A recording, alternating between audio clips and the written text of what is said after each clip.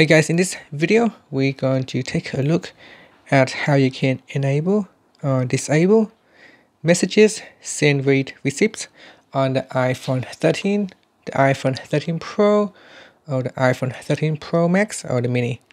First, let's go back to your home screen by swiping up at the bottom of the screen. On the home screen, you want to tap on settings.